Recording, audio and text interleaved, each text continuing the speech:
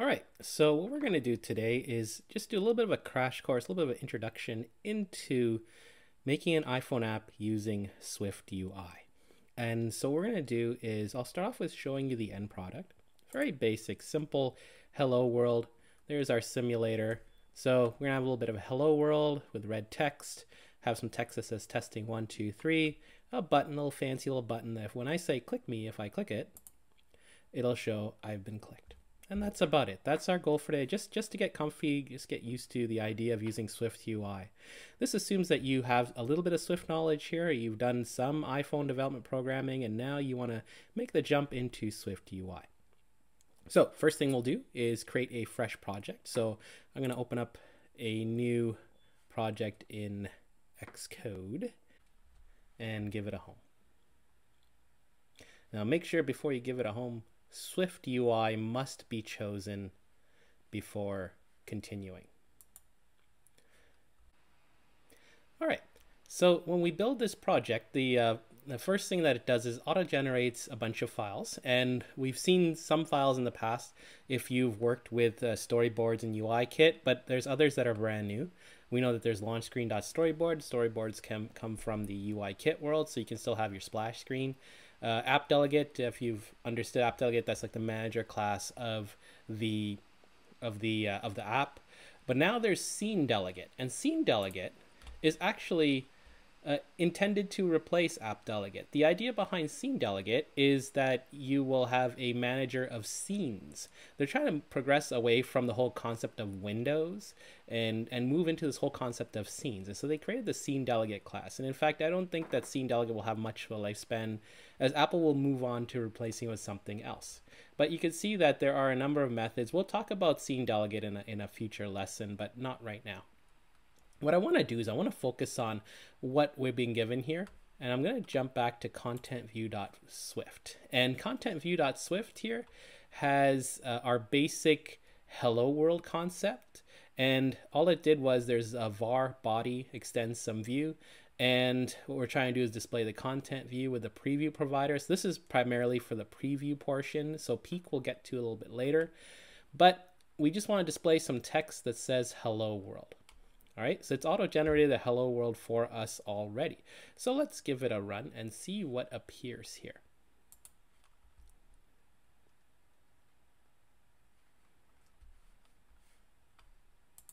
And there you can see is hello world.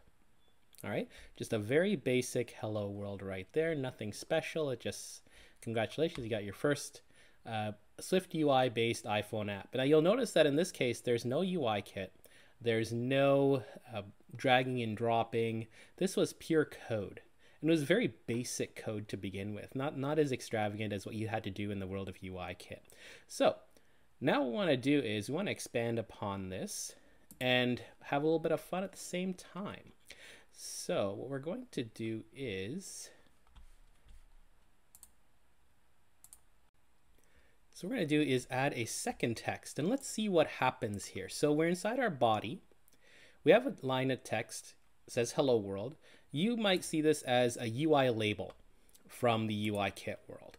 And now what we're going to do is as second text, like which would be the logical progression here to see, you know, what can we do? So I'm just going to say text and I'm just going to say testing one, two, three. All right. And that's it. And let's see what happens. Whoa, it did not like that. But let's see, maybe this is a, maybe it's just Xcode complaint. Let's see if we can actually run it. Nope, it still won't let us run. So here's the thing. Uh, you can have one item in your body, but when you want to have more than one item, which is pretty well a given, we're going to have more than one item in our in our body for any screen that we build. Uh, you're going to have to put it in what's called a stack. Now there's two types of stacks. There's vertical stacks and there's horizontal stacks. Now, if I want to put this, I want to have this one above the other, so I'm going to go with a vertical stack. So what I'm going to do is just modify these two lines here with an additional object. So I'm going to say v, oops, so command Z to undo that. Hate when that happens. Uh, v stack, all right, open a curly and I'm going to close my curly at the bottom of the second text. Now let's make it a little bit more cleaner with some indentations. And let's see, the errors have gone away. So we put this inside a vertical stack. And now that we have it inside any sort of stack, it's gonna it's gonna allow for more than one object. In this case, we have two texts, one above the other. So let's give it a shot, see what happens. Hit run. All right, so now we have hello world and testing one, two, three. Okay, so so far so good. Now we know how to add two labels or two lines of text onto our screen. So now let's add a button. All right, so the next step would be to add a button. All right, so I'm gonna just add button and open a round bracket. Uh, I'd be very wary of the default options that come with button. I'm just going to stick to action. All right. And open a curly bracket. I'm going to close, I hit enter. So what happens here is we have our action and inside the set of curly brackets, we're going to have something to update here. Right now I'm going to have nothing there. What I would like though is to actually have some text for my button. So I'm going to open up at the end of my, my closing round bracket for button. I'm going to open up a curly. There's my closing curly. And I'm going to put some text in. So text. And the text will say, click me. All right. And it looks like everything's okay again. The sea of blood has disappeared. Let's hit run. Let's see how it, let's see what happens now. All right, so there's hello world, testing one, two, three, hit click me. I've got a button that clicks, great. But it's so boring, right? It's simple, black and white a little blue, right? Let's add some flair to what we're working on here. All right, so what I'm gonna do is I'm gonna stop this. I'm gonna start back at hello world. Now, we can actually add some color, some font, something to dress it up a bit. And if you think to CSS, kind of the ideas are, are similar to what we're doing here, but but we're doing it in terms of code here. So you can you know how in HTML and CSS you can modify and make things pretty instead of just the basic H1 and H2 tags. You can do the same idea here, but we're going to take more of a Swifty approach. Right? So I'm going to start with hello world. So I'll give some space there. And with this text call, we specify the text as hello world. I can add a little bit more to it. I'm going to use separate lines so it's easier to read, of course, and it's a better way to do it. Hit enter. I'm going to add a little tab so it's uh, a little more prevalent here. I'm going to continue on this line. And first I want to add some padding. I want some gap because they're all just sort of stacked right above the other. So I'm going to say dot padding. All right, so I'll give a bit of a gap there. Now let's change the font color. So I'm just going to hit enter again and say dot foreground color. And I'll say dot red. So the whole dot notation concept of dot red, or instead of saying UI color dot red or color dot red or whatnot, you can still continue that style of, of uh, notation here. Fine, let's, let's change the font size. So I'm going to say dot font. I'll keep using the system font. So dot system font style, uh, actually not style, I want system size colon uh, 35. There should have been an autocomplete for size. I I think I hit enter too quickly, so that's why it just blew by me, but it's probably there. You, pro you probably have seen it yourself, so go ahead and choose the size option. Now, let's hit run. See what happens. There's your hello world. Now it's in red, bigger font size. So let's apply this to testing one, two, three, and maybe try something slightly different. So I'm gonna kill some of the blank lines here just to reel it in a bit and give some gap there. All right, so we'll do some dot padding again because I want to have that spacing. All right, let's change the color to be foreground color dot green.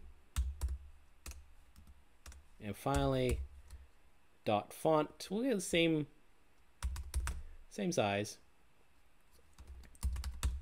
and we'll say uh, 35 again. But you can choose a different size if you really want to see the magic happening there. Uh, I got a little bit ahead of myself. This should actually be dot system of size. There. All right. That made that error go away. So let's hit run.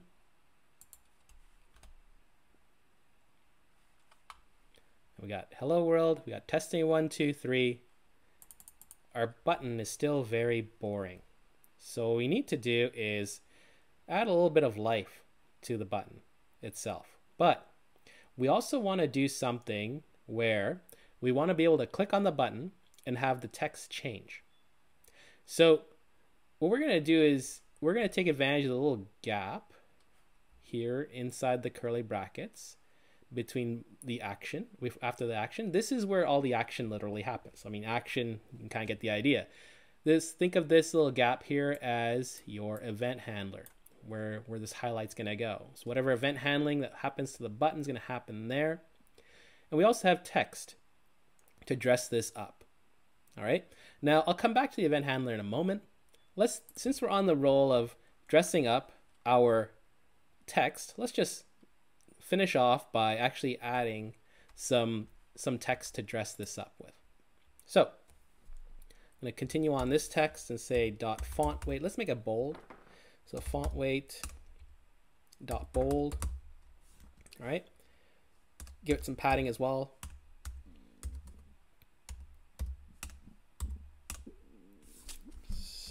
Too far ahead of myself. Let's hit enter. Dot background will be, gonna get rid of that and say dot purple. Sometimes it doesn't pop up, so I'm gonna actually just say color dot purple just to be safe. And then let's add some roundedness to the, and let's add a rounded border first of all, a rounded border and some roundedness to this button. So we're gonna say dot corner radius, we'll say it's 40. You can play with this number and see how uh, how the rounded corners will look with different numbers in this case. All right, uh, let's set the foreground color, so the text color to be white. So foreground color will be dot white and dot padding will be 10 because I want to add a little bit of padding, a little bit of an inset into the rounded corners, like a little bit of a border. Now I want to overlay a border. So we'll say overlay and actually going to open up set of round brackets and we have some gap in there. So add some extra lines and actually add a rounded rectangle or a border essentially. So I'm going to announce a rounded rectangle with a corner radius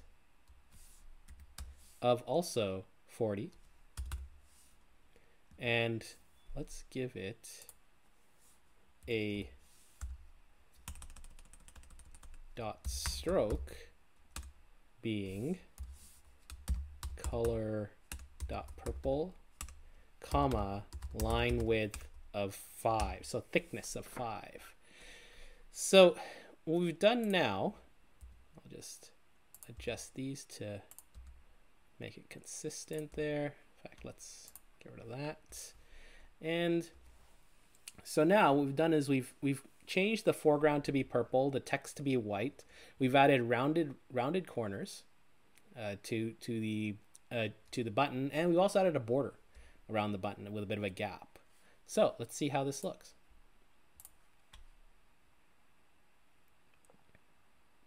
And there you go. There's your click me. All right, and it looks a little bit snazzy there. Now, final thing we're going to do is set it up so that when I click on this, the text of click me changes.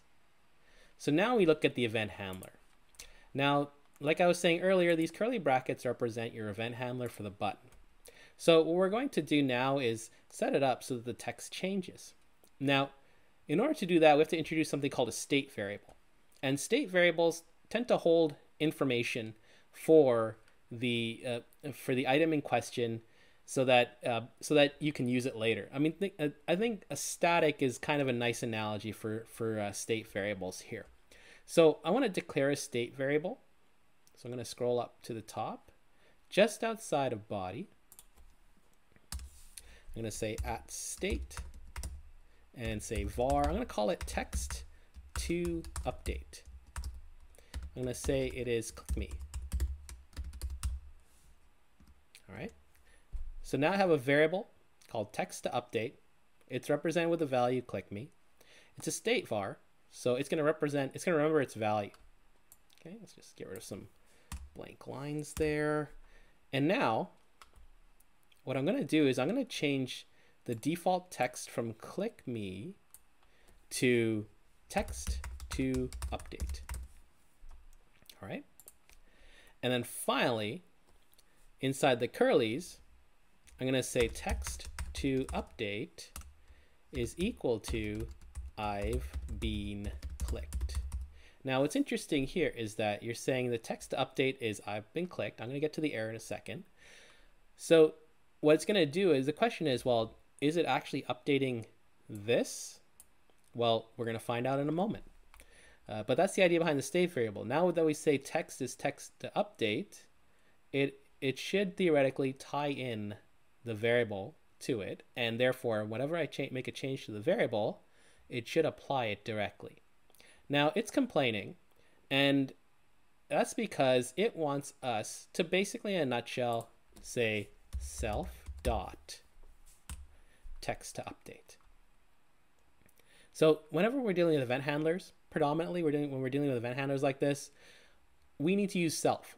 Self is like this in Java, uh, but in UIKit, it was it was not as it was not as heavily used, and in Objective C, it was very heavily used.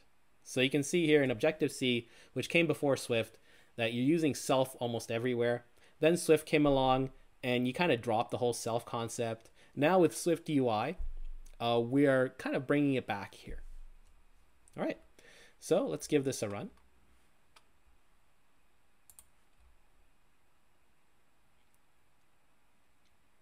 All right, so there's click me. And it says, I've been clicked. All right, so congratulations. You've done your first iPhone app using Swift UI. And you're able to add labels. You're able to dress up your labels. You're able to add a button and you're able to dress up that button and also set up an event handler, a very basic event handler using a state variable so that you can modify the text of your button. Now, the next video we're going to get into, we're going to take this a little bit further and make a calculator, a basic calculator just to add, subtract, multiply, and divide. So stay tuned for that. And see you soon.